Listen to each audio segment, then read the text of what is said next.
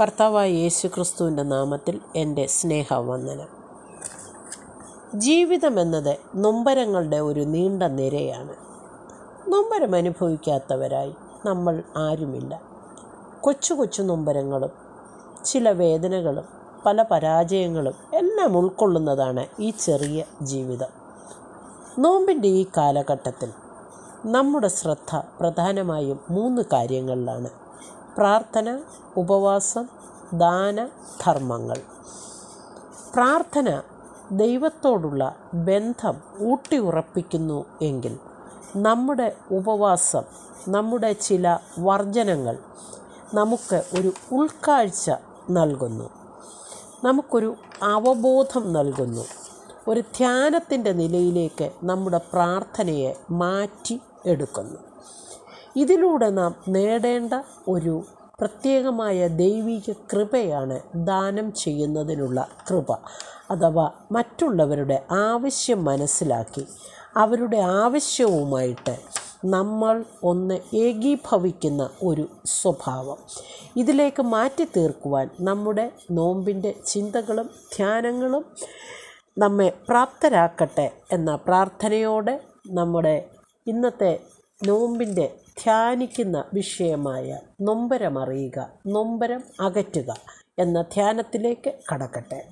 ധ്യാനത്തിനായിട്ട് മർക്കോസിന്റെ സുവിശേഷം ഒന്നാം അധ്യായം നാൽപ്പത് മുതൽ നാൽപ്പത്തി അഞ്ച് വരെയുള്ള വാക്യങ്ങൾ വായിക്കാം. ഒരു കുഷ്ഠരോഗി അവന്റെ അടുക്കൽ വന്ന് മുട്ടുകുത്തി. നിനക്ക് മനസ്സുണ്ടെങ്കിൽ എന്നെ ശുദ്ധമാക്കാൻ കഴിയുമെന്ന് അപേക്ഷിച്ചു യേശു മനസ്സലിഞ്ഞ് കൈ നീട്ടി അവനെ തൊട്ടു. മനസ്സുണ്ട് ശുദ്ധമാകെ എന്ന് പറഞ്ഞ ഉടനെ കുഷ്ഠം വിട്ടുമാറി അവന് ശുദ്ധി വന്നു. യേശു അവനെ അമർച്ചയായി ശാസിച്ചു. നോക്കൂ ആരോടും ഒന്നും പറയരുത്. എന്നാൽ ചെന്ന് പുരോഹിതന് നിന്നെ തന്നെ കാണിച്ച് നിന്റെ ശുദ്ധീകരണത്തിന് വേണ്ടി മോശ കൽപ്പിച്ചത് അവർക്ക് സാക്ഷ്യത്തിനായി അർപ്പിക്ക എന്ന് പറഞ്ഞ് അവനെ വിട്ടയച്ചു. അവനോ പുറപ്പെട്ട് വളരെ ഘോഷിപ്പാനും വസ്തുത പ്രസംഗിപ്പാനും തുടങ്ങി.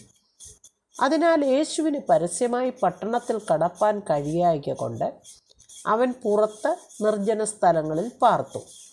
എല്ലായിടത്തു നിന്നും ആളുകൾ അവന്റെ അടുക്കൽ വന്ന് കൂടി.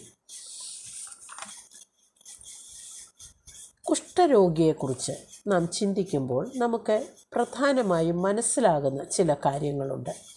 ഒരു കുഷ്ഠരോഗി എങ്ങനെയാണ് സമൂഹത്തിൽ ആയിരിക്കേണ്ടത് എന്ന് ലേവ്യ പുസ്തകം പതിമൂന്നാം അധ്യായം നമ്മെ പഠിപ്പിക്കുന്നുണ്ട്. അവർ സമൂഹത്തിൽ നിന്നും വിട്ട് പാളയത്തിന് പുറത്ത് പാർക്കേണ്ടവരാണ്. അവർക്ക് പൊതുസമൂഹവുമായിട്ട് ഇടപെടുവാനോ അവരുമായിട്ട് സംസാരിക്കുവാനോ അനുവാദമില്ല. ആരെങ്കിലും അറിയാതെ ഒരു കുഷ്ഠരോഗിയെ തൊട്ടാൽ തൊടുന്നവനും അശുദ്ധനായിത്തീരും. ഇതാണ് പ്രമാണം. ഇതറിയാവുന്ന കുഷ്ഠരോഗി തനിക്ക് സമൂഹത്തിലേക്ക് വരുവാൻ കഴിയത്തില്ല എന്ന് പൂർണ ബോധമുണ്ടായിരുന്നിട്ടും അവൻ താനായിരുന്ന അവസ്ഥയിൽ തന്നെ കർത്താവിന്റെ അടുക്കലേക്ക് വന്നു. നമ്മൾ ക്രിസ്തുവിന്റെ അടുത്തേക്ക് ഈ സമയങ്ങളിൽ ചെല്ലുന്നത് എങ്ങനെയാണ്? നമ്മെ തന്നെ ഒന്ന് നോക്കിയിട്ടാണോ? നമ്മുടെ ഉള്ളിലേക്ക് നാം നോക്കുമ്പോൾ നമ്മുടെ ശരീരത്തിന് മാത്രമായിരിക്കും ശുദ്ധിയുള്ളത്. നമ്മുടെ ഉള്ളിലെ അശുദ്ധി കുഷ്ഠരോഗിയുടെ പുറത്തെ അവസ്ഥയേക്കാൾ എത്രയോ പരിതാപകരമായിരിക്കും. നമ്മൾ നമ്മെ തന്നെ അകലം പാലിച്ചുകൊണ്ട് കഴിയുന്നതിനല്ല മറിച്ച് ആ അകലം കുറയ്ക്കുവാനായിട്ട് ദൈവത്തിന്റെ അരികിലേക്ക് വരുവാനായിട്ട് ശ്രമിക്കേണ്ട കാലങ്ങളാകുന്നു ഇത്. ഒരു ഐസൊലേഷനിൽ കഴിഞ്ഞ വ്യക്തി അവൻ അവനായിരിക്കുന്ന അവസ്ഥയിൽ തന്നെ കർത്താവിന്റെ അടുത്തേക്ക് വന്ന് വരികയാണ്. നാം നാം ആയിരിക്കുന്ന അവസ്ഥയിൽ അവന്റെ അടുക്കൽ വന്ന് മുത്തു മുട്ടുകുത്തണം. മുട്ടുകുത്തുക എന്ന് പറയുമ്പോൾ ഒരു ഹ്യൂമിനിറ്റിയുടെ ഒരു താഴ്മയുടെ അനുഭവത്തിലൂടെയാണ് ഈ കുഷ്ഠരോഗി കടന്നു പോകുന്നത് അവൻ വളരെ താഴ്മയോടെ കർത്താവിന്റെ സന്നിധിയിൽ ചെന്നിട്ട് പറയുകയാണ് നിനക്ക് മനസ്സുണ്ടെങ്കിൽ എന്നെ ശുദ്ധമാക്കുവാൻ കഴിയും. എത്ര വലിയൊരു കോൺഫിഡൻസ് ആണ്. ഒരു വിശ്വാസമാണ് അവന് കർത്താവിന് സൗഖ്യമാക്കുവാൻ കഴിയും. നമ്മുടെ പ്രാർത്ഥനകൾ നമ്മുടെ അപേക്ഷകൾ എത്രമാത്രം വിശ്വാസത്തോടു കൂടിയാണ്. നമ്മുടെ അവസ്ഥ എന്താണെങ്കിലും നാം ആരായിരുന്നാലും താഴ്മയോടെ അവന്റെ അടുത്തേക്ക് ചെല്ലുമ്പോൾ ഒരു തിരിച്ചറിവോടുകൂടി നാം അവന്റെ മുൻപിൽ മുട്ടുമു കുത്തുമ്പോൾ നമ്മുടെ എല്ലാ ആവശ്യങ്ങളും അവൻ സാധിക്കുവാൻ കഴിയുന്നവനാകുന്നു എന്ന വിശ്വാസം നമുക്ക് വേണം. മാത്രമല്ല തന്റെ ആയിരിക്കുന്ന അവസ്ഥയിൽ അവൻ ഒരിക്കലും ദൈവത്തെ കുറ്റപ്പെടുത്തുവാനായിട്ട് ശ്രമിക്കുന്നില്ല. മറിച്ച് അവന്റെ ആവശ്യങ്ങൾ അറിയിക്കുക മാത്രമാണ് ചെയ്യുന്നത്. ഇപ്രകാരമായിരിക്കട്ടെ നമ്മുടെ നോമ്പും നമ്മുടെ ഉപവാസവും നമ്മുടെ പ്രാർത്ഥനയും. ഈ നോമ്പിൽ നാം വേദന അറിയുന്നവരായി തീരുന്നുണ്ട്. അനുഭവിച്ചത് കുഷ്ഠരോഗിയുടെ അനുഭവം കുഷ്ഠരോഗിക്ക് മാത്രമേ അറിയുകയുള്ളൂ. അതേപോലെ തന്നെ നമ്മുടെ ഓരോ അനുഭവങ്ങൾ നാം വർജനത്തിലൂടെ ഒന്ന് മനസ്സിലാക്കുവാനായിട്ട് ശ്രമിക്കുകയാണ്. എന്തൊക്കെയാണ് നാം നോമ്പിൽ വർജിക്കുന്നത്? അതെന്തുമാകാം? നമുക്ക് ഒഴിച്ചു കൂടാനാവില്ല എന്ന് ചിന്തിക്കുന്നത് എന്താണോ അതിനെ വർജിക്കുവാനാണ് നാം ഈ നോമ്പിൽ ശ്രമിക്കേണ്ടത്. അതൊരു പക്ഷെങ്കിൽ ഭക്ഷണമാകാം. മത്സ്യ മാംസാദികളാകാം. നമുക്കിഷ്ടമുള്ള ഡെസേർട്സ് ആകാം. ചില ഹാബിറ്റ്സ് ആകാം. നമ്മുടെ ചില ശീലങ്ങളൊക്കെ. എപ്പോഴും നമുക്ക് സോഷ്യൽ മീഡിയ അഡിക്ഷൻ അത്തരത്തിലുള്ള ചില ശീലങ്ങളുണ്ടാവാം. ചില സംസാരങ്ങളും സംസാര രീതികളുമാകാം. ചില ആസക്തികളാകാം. ലഹരിയോടോ മറ്റ് വസ്തുക്കളോടോ ഉള്ള ചില ആസക്തിയാകാം. ചില വ്യക്തികളും ചില കൂട്ടുകെട്ടുമാകാം. ഇതിനെയൊക്കെ അല്പകാലത്തേക്ക് ഒന്ന് മാറ്റി നിർത്തുന്നതാണ് നോമ്പിന്റെ വർജനം. ഇതൊരു ഒറ്റപ്പെടലാകാം. ചിലപ്പോഴൊക്കെ ചില ഏകാന്തതയുടെ അനുഭവങ്ങൾ ചില ഉത്തരം കണ്ടെത്തുവാൻ നമ്മെ സഹായിക്കും. പ്രാർത്ഥന ഒരു ഏകാന്തതയിലേക്ക് നയിക്കുകയും അത് നമ്മെ ധ്യാനത്തിന്റെ ഒരു ഉന്നത തലത്തിലേക്ക് എത്തിക്കുകയും ചെയ്യും.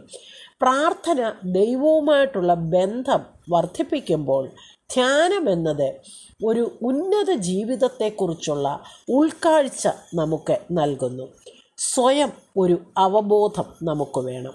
ഞാനൊരു കുഷ്ഠരോഗിയാണെന്നും എനിക്ക് സമൂഹത്തിൽ കടക്കുവാനാകയില്ലെന്നും എന്നാൽ ക്രിസ്തുവിന്റെ അടുത്തെത്തിയാൽ എനിക്ക് സൗഖ്യം വരും എന്ന ഒരു വിശ്വാസവും ഈ അവബോധമാണ് നമ്മെ വർജനത്തിലൂടെ പഠിപ്പിക്കേണ്ടത് പഠിക്കേണ്ടത്. നാം ഉപവാസത്തിലൂടെ നേടേണ്ടത്. അങ്ങനെ വർജനത്തിലൂടെ ചില നൊമ്പരങ്ങളൊക്കെ നാം ജീവിതത്തിൽ അറിയും.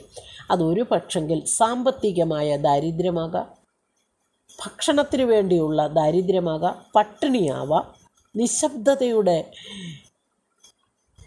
അറിവായിരിക്കാം. അന്ധതയുടെ കാഴ്ചയായിരിക്കാം. ഇവയൊക്കെയും നമുക്ക് ഒരു തിരിച്ചറിവിന്റെ കാലഘട്ടം ആയിത്തീരുന്നു. ഇതിലൂടെ നാം നേടേണ്ടതാണ് ദാനധർമ്മങ്ങൾ. ഇവിടെ കർത്താവിനെക്കുറിച്ച് കാണുമ്പോൾ നമുക്ക് ദാനധർമ്മങ്ങളെക്കുറിച്ച് ചിന്തിക്കാം. കർത്താവ് യേശു ക്രിസ്തു കരുതുകയാണ് ഈ കുഷ്ഠരോഗിയെ. അവനൊന്ന് നോക്കി അവനിവനെ മനസ്സലിഞ്ഞു. അവനെ ഒന്ന് തൊട്ടു. എനിക്ക് മനസ്സുണ്ട് ശുദ്ധമാകാം എന്ന് പറഞ്ഞു. എ കമ്പാഷനേറ്റ് ജീസസ് മനസ്സലിയുന്ന കർത്താവ്. നമ്മുടെ സഹസൃഷ്ടികളോട് കരുതുന്നു. അതാണ് അർത്ഥവത്തായ നോമ്പ്. നം നൊമ്പരം അറിയുന്നെങ്കിലേ നമുക്ക് മറ്റുള്ളവരോട് അലിവ് തോന്നുകയുള്ളൂ. സങ്കീർത്തനം എൺപത്തിയാറിന്റെ അഞ്ചിൽ ദൈവത്തിന്റെ സ്വഭാവം പറയുന്നു. കർത്താവെ നീ നല്ലവനും ക്ഷമിക്കുന്നവനും നിന്നോട് അപേക്ഷിക്കുന്നവരോടൊക്കെയും മഹാദയാലുവുമാകുന്നു. ആ ദയാലുത്വം നമ്മിൽ ഉണ്ടാകുമ്പോൾ നമ്മിൽ ഉണ്ടാക്കുവാൻ നമ്മുടെ ധ്യാനത്തിന് കഴിയണം. രണ്ടാമതായിട്ട് മനസ്സലിഞ്ഞ കർത്താവ് ഈ കുഷ്ഠരോഗിയെ ഒന്ന് തൊട്ടു. അശുദ്ധനെ തൊടുന്നവനും അശുദ്ധൻ. യേശു കുഷ്ഠരോഗിക്ക് വേണ്ടി സ്വയം അശുദ്ധനായി തീർന്നു. പഴയ നിയമത്തിൽ യാഗമർപ്പിക്കുന്നതിന് മുൻപ് മൃഗത്തിന്റെ മേൽ കൈവെക്കും കാരണം പാപം മൃഗത്തിന്റെ മേൽ ചുമത്തുന്നു എന്നതിന്റെ ഒരു സിമ്പലാണ്. ഇവിടെ യേശു കുഷ്ഠരോഗിയുടെ മേൽ കൈവെക്കുമ്പോൾ കുഷ്ഠരോഗിയോടൊപ്പം ഏകീഭവിക്കുന്നതിലൂടെ താൻ അശുദ്ധൻ ആകുവാൻ തയ്യാറാണെന്ന് കാണിക്ക മാത്രമല്ല മറിച്ച് തന്റെ ശക്തി കുഷ്ഠരോഗിയുടെ മേൽ പകരുകയും കൂടി ആണ് ചെയ്യുന്നത്. കുഷ്ഠരോഗിക്ക് സ്വയമായി ഒരിക്കലും കഴിയാതെ ഇരുന്നത്. കർത്താവിന്റെ ശക്തി അവന്റെ മേൽ വന്നപ്പോൾ അവന് സാധിച്ചു. അവൻ ശുദ്ധനായി തീർന്നു. ഈ നോമ്പിൽ നമ്മുടെ ധാ ദാനധർമ്മങ്ങളിലൂടെ ഇത്തരത്തിലുള്ള ഏകീഭാവം നമ്മുടെ ചുറ്റുപാടും ചിലരൊക്കെ ആഗ്രഹിക്കുന്നില്ലേ? അത് ചിലപ്പോൾ നമ്മുടെ സമ്പത്താകാം നമ്മുടെ കഴിവാകാം നമ്മുടെ സമയമാകാം. നമ്മുടെ ആശ്വാസത്തിന്റേതായ ഒരു വാക്കാകാം. ഒരു ചെറു പുഞ്ചിരിയാകാം. ഒരു തലോടലാകാം. ഏകാന്തത അനുഭവിക്കുന്നവർ എത്രയോ പേർ നമ്മുടെ ചുറ്റുപാടും ഇരുന്ന് നമ്മെ നമ്മുടെ ഒരു നോട്ടത്തിനായി നോക്കുന്നുണ്ട്. ഒന്ന് തൊടാനുള്ള ഒരു മനസ്സാണ് ഈ നോമ്പിലൂടെ നാം ആർജിക്കേണ്ടത്. നൊമ്പരങ്ങളുടെ രുചി അറിഞ്ഞാൽ മാത്രമേ ചില നൊമ്പരങ്ങൾ അകറ്റുവാൻ നമുക്ക് കഴിയുകയുള്ളൂ. അതിന് ഈ വലിയ നോമ്പ് നമ്മെ പ്രാപ്തരാക്കട്ടെ. നമുക്ക് ഒരു വാക്ക് പ്രാർത്ഥിക്കാം. സ്വർഗീയ പിതാവേ അവിടുത്തെ സന്നിധിയിലേക്ക് ഞങ്ങൾ വീണ്ടും വരുന്ന കർത്താവെ ഞങ്ങൾക്ക് തന്ന വചനത്തിനായി സ്തോത്രം. മറ്റുള്ളവരുടെ വേദന അറിയുവാനും ഞങ്ങൾ അറിഞ്ഞ വേദനയിലൂടെ ഞങ്ങൾ പഠിച്ച വർജനത്തിലൂടെ ഞങ്ങൾക്ക് ലഭിച്ച ധ്യാനത്തിലൂടെ ഉൾക്കാഴ്ചയിലൂടെ എന്റെ കർത്താവെ ഞങ്ങളുടെ ചുറ്റുപാടുമുള്ള സഹജീവികളോട് കരുതുവാൻ സ്നേഹിക്കുവാൻ നീ കാണിച്ചതുപോലെ മനസ്സൊരുക്കമുള്ളവരാക്കി ഞങ്ങളെ മാറ്റണമേ. ഈ നോമ്പിലൂടെ ഞങ്ങൾക്ക് ലഭിക്കേണ്ട ഏറ്റവും വലിയ നേട്ടം അതാക്കി തീർക്കണമേ. നിന്റെ കൃപയിൽ ഞങ്ങളെ നിറയ്ക്കണമേ. യേശുപ്പച്ചന്റെ നാമത്തിൽ തന്നെ. ആമേ താങ്ക് യു വെരി മച്ച്